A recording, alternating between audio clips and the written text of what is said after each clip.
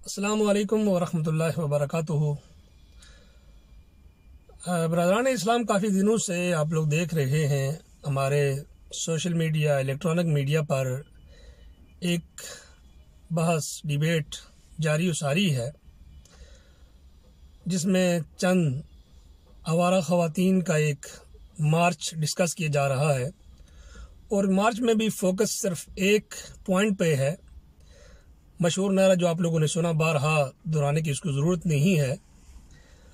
اور بعض اوقات ہمارے اچھے سمجھدار لوگوں نے، جن میں ہمارے خلیل الرحمان کمر بھی ہیں، انہوں نے بھی کہا کہ اگر یہ سلوگن یا یہ نعرہ یہ لوگ ختم کر لیں تو میں بھی ساتھ اس مارچ میں شامل ہو جاؤں۔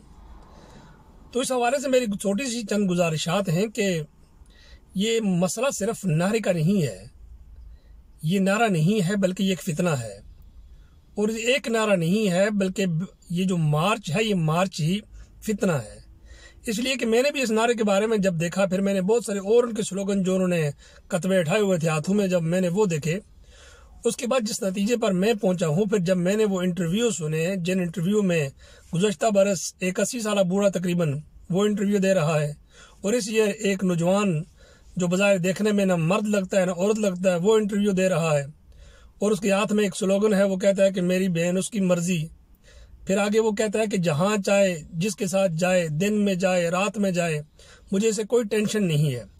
اور اس سے بھی بڑی بدبختی جو اینڈ پہ وہ کہتا ہے، وہ یہ کہہ رہا ہے کہ یہ جو نکاح کا نظام ہے، یہ فرسودہ نظام ہے۔ اسی طریقے سے وہ جو اسی سالہ بوڑھا با، بوڑھا جو تھا، اس نے بھی اسی طرح کے الفاظ کہے۔ اس نے تو یہاں تک کہا کہ اس معاشرے میں عورت کے ساتھ جو ظلم اور زیادتی ہے اس کا سبب صرف اور صرف نکاح ہے۔ نکاح کا نظام ختم کر دیا جائے تو ہمارا معاشرہ جو ہے پرامن ہو جائے گا، عورت کو حقوق مل جائیں گے۔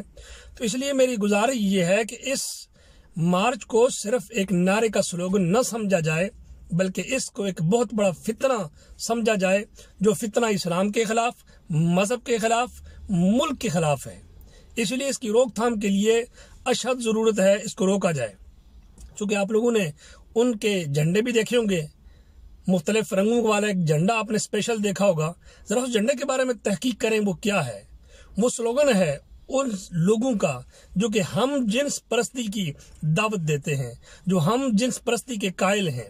اور یہ لوگ تو قوم لوت سے بھی آگے نکل گئے۔ قوم لوت تو صرف مرد مردوں کے پاس جاتے تھے، اور یہ تو عورت عورتوں کے پاس اور مرد مردوں سے ہم جنس پرستی کا درس دیتے ہیں۔ اور اسی چیز کو یہ لوگ ہماری سوسائٹی کے اندر، ہمارے معاشرے کے اندر لانا چاہتے ہیں۔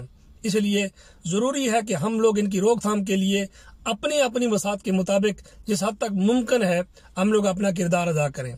اور سب سے پہلا کردار پارلیمنٹیرین کا ہے۔ کہ وہ لوگ اس میں باقاعدہ قانون سازی کریں، کوئی بھی ایسا شخص، کوئی بھی ایسی تنظیم، کوئی بھی ایسی پارٹی جو اس تحریک، اس قسم کا کام کرے، اسے ملک کے اندر بین کر دیا جائے۔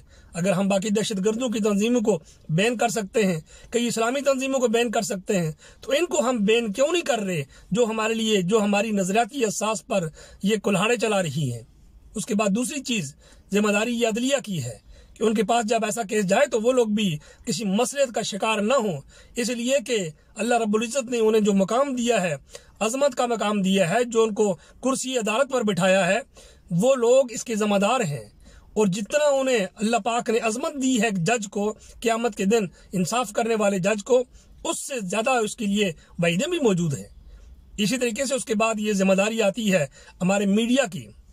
ہمارے میڈیا کے وہ لوگ جو کل تک اس سلوگن کی حمایت کر رہے تھے، وہ تو جلوس میں بھی جا کر شامل ہوئے ہیں۔ اس لیے ضروری ہے ہمارے لوگوں کے لیے بھی کہ ان میڈیا چینلز کو ہم لوگ سپورٹ کریں، جو لوگ اسلامی اقدار کو فروغ دیں۔ اور جو لوگ اس قسم کے سلوگن کو جو دنیا جہان میں فرسودہ ہو چکے ہیں، انہیں لا کر ہماری سوسائٹی کو ڈسٹرب کرنا چاہتے ہیں، ہمارا خاندانی نظام تباہ کرنا چاہتے ہیں، ان لوگوں کی فوراً مخالفت کی جائے۔ اس کے بعد یہ سوسائٹی ہے ہمارے ٹیچرز کی، مختلف اداروں میں پڑھانے والے یونیورسٹی میں، کالجز میں اور سکولز میں جو پڑھانے والے ٹیچرز ہیں، ان کی یہ ذمہ داری ہے کہ وہ لوگ اپنے اسٹوڈنٹس کو آگاہ کریں اور اس کی تباہ کاریوں سے بچائیں تاکہ ہمارا معاشرہ جو اصل جو چیز حضور نبی اکرم صلی اللہ علیہ وآلہ وسلم نے ہمارے معاشرے کی بقا جو رکھی، وہ بہترین گھر پر رکھی۔ اس لیے کہ حضور نبی اکرم صلی اللہ علیہ وآلہ وسلم نے فرمایا، خیرکم خیرکم لیہلی تم میں سے بہتر یہ ہے جو اپنے گھر والوں کے لیے سب سے زیادہ اچھا ہو۔ اور اس کے بعد میں انتہائی معذرت سے کہوں گا کہ یہ حقوق نسواں کا کوئی مارچ نہیں تھا۔ اگر یہ حقوق نسواں کا مارچ ہوتا تو اس میں یہ لوگ یہ ڈسکس کرتے، ہماری وہ مائیں بہنیں جن کے ہاں اگر بیٹا نہیں ہوتا اور بیٹا نہ ہونے کی وجہ سے سسرال میں انہیں مشکلات کا شکار جو ہے وہ ہونا پڑتا ہے۔ بعض اوقات اپنے ہسبینڈ کے ساتھ ہسبینڈ کی موجودگی میں بھی وہ ایک ایسی زندگی گزار رہی ہوتی ہیں جو کہ ایک بیوہ خاتون کی شکل کی ہوتی ہے۔ ہمیں تو اس کے خلاف بولنا چاہیے، ہمیں تو اس کے خلاف بولنا چاہیے کہ بے شمار بچیاں ہماری جیز کے نہ ہونے کی وجہ سے اور جیولری کے نہ ہونے کی وجہ سے ان کے نکاح نہیں ہوتے۔ ہمیں اس کے بارے میں بولنا چاہیے۔ کسی مقام پر اگر خواتین کی تعلیم میں رکاوٹ پیدا کی جا رہی ہے۔ اس کے بارے میں ہمیں بولنا چاہیے۔ اگر کسی مقام پر خواتین کی ہراسمنٹ کی جا رہی ہے، اس کے بارے میں ہمیں بولنا چاہیے۔ اس طرح کے سلوگن وہاں کچھ بھی نہیں تھے۔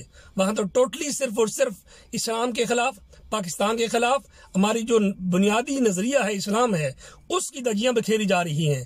اور ہم لوگ ہیں کہ اس کو انجوائے کر رہے ہیں۔ اس لیے میری گزارش ہے، ارباب اختیار سے، ارباب اقتدار سے، کہ خدا را آپ لوگ رسپانسبل ہیں کہ کلکم رائن و کلکم مسئول عن ریت ہی تم میں سے ہر ایک ذمہ دار ہے اور اس سے اس کی ریت کے بارے میں سوال کیا جائے گا۔ تو اس لیے ایسے فتنوں کو جڑ سے آج ہی اکھیڑیں۔ اس سے پہلے کہ یہ فتنہ ہمارے گھروں تک، ہماری آبادیوں تک پہنچے۔ امید ہے کہ آپ لوگ میری بات کو سمجھ گئے ہوں گے۔ دعا ہے اللہ رب العزت سے کہ اللہ پاک ہمیں ایسے نہ ہنجانوں سے ہماری سوسائٹی کو بچائے اور امن کا گہوارہ جو ہمارا معاشرہ آلریڈی ایک فیملی سسٹم ہے فیملی کلچر ہے، اللہ رب العزت اس کو ہمیں باقی رکھنے کی توفیق عطا فرمائے اور شرم و حیات آ فرمائے۔ اس لیے کہ حضور نبی اکرم صلی اللہ علیہ وآلہ وسلم نے فرمایا اضافات الحیاء ففعل ما شئتا کہ جب تمہاری حیا ختم ہو جائے، پھر جو چاہو کرو، پھر تم اپنی بیٹی کو، اپنی بیوی کو، اپنی ماں کو، جس کے ساتھ مرضی ہے بھیجو، تمہیں کوئی دقت نہیں ہوگی۔ اس لیے حیا جو الحیا من ایمان ہے حیا ایمان کا جز ہے حیا جو ہے یہ موڈیسٹی ہے۔ اگر یہ نکل جائے تو ہمارے پاس کچھ نہیں بچتا ہے۔ دعا ہے اللہ تعالیٰ کی ذات سے کہ اللہ تعالیٰ ہمیں سمجھ عطا فرمائے۔ امید ہے کہ آپ میرے اس پیغام کو سنیں گے بھی اور دیگر احباب تک بھی پہنچائیں گے۔ السلام علیکم ورحمۃ اللہ وبرکاتہ۔